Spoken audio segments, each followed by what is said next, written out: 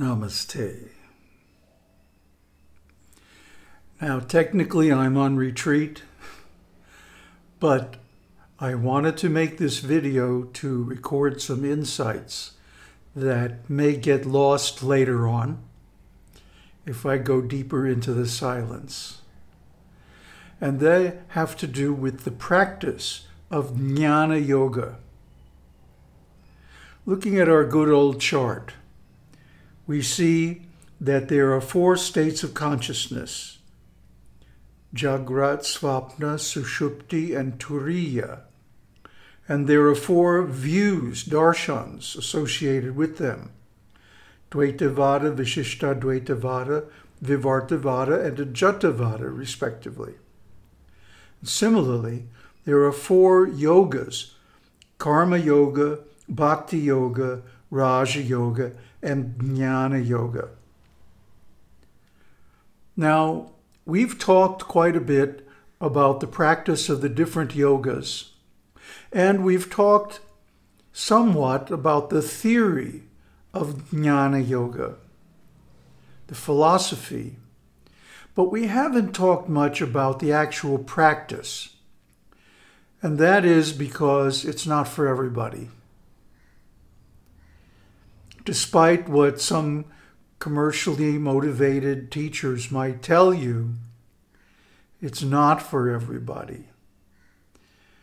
And there's a wonderful verse in the Srimad Bhagavatam that even the best of the Brahmanas is one out of thousands of thousands of men.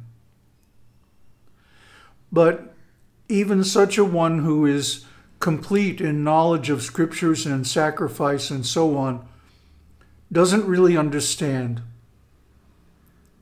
the highest truth, liberation.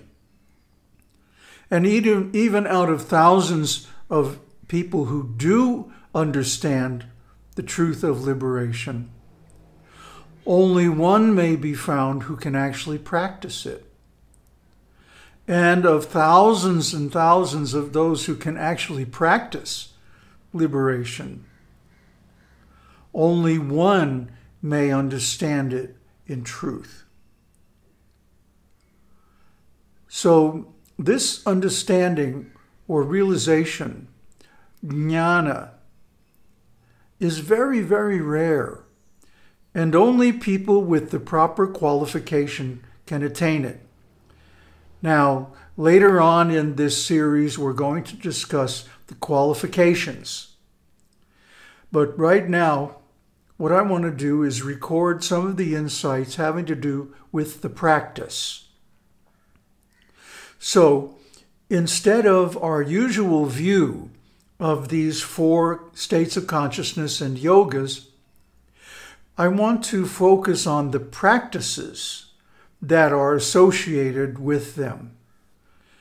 Now, the practice of jnana yoga is not done in isolation from the other yogas. Think of jnana yoga as the peak of a mountain. And because of that, it requires the rest of the mountain as a foundation to support it. So just because one has become qualified and is able to practice jnana yoga doesn't mean that he stops the practice or that he can skip the practice of the other yogas. So let's take a look at these four yogas and how they all support the practice of jnana yoga. First, of course, there's karma yoga. What is karma yoga? Acceptance of guru, that means initiation, study of the shastra, the scriptures under the guru's direction, renunciation of prohibited sense pleasures, beginning with eating meat and fish and all kinds of nonsense, liquor, and so on and so on. Performance of regulated sacrifice. This means deity worship, temple worship practice of the four preliminary qualifications. And we're going to get into a detailed description of that later on in this series, so I won't describe it now. But karma yoga also includes economic development, charitable donations, and maintenance of health. Without economic development, one is always going to be in anxiety about how am I going to live? Where am I going to stay? And may have to join some organization, some welfare group, or some spiritual group where there's always anxiety about the management and the leadership and having to be subordinate to others. And these are all very bad for one's yoga practice. Therefore, it's best to be economically independent, to have one's own source of passive income that does not require any work, but gives adequate resources for living. And then one should use some portion of one's income for regular charitable donations. And the best of these is feeding the sadhus, taking care of the sadhus, taking care of the guru, especially in his old age, and so on like that. And then finally, maintenance of one's own health. If you're not in good health, you can't practice yoga. Once you've attained and realized everything, then the state of health doesn't matter. But in the stage of sadhana, it's supremely important. Every morning after I finish my morning meditations, I go out to the beach and I walk and do hatha yoga and swim and get some sun. A study just came out that daily sun exposure of 30 minutes or more has health benefits comparable to those of quitting smoking. So, of course, there's just like there's no yoga without uh, quitting smoking and other nasty habits. There's no yoga without getting daily outdoor exercise and eating properly. Take care of your health. Now, if you do all of these things and you maintain it for some time, then what will happen is that spontaneously bhakti yoga will arise. Bhakti yoga means spontaneous ecstatic love of one's chosen Ishtadevata, the deity or form of God to which one is devoted, the guru and the, the devotees. Development of that devotion and the commitment to it, the commitment to spiritual life, and complete renunciation of material life. Why do we chase after material life, material relationships, and so on?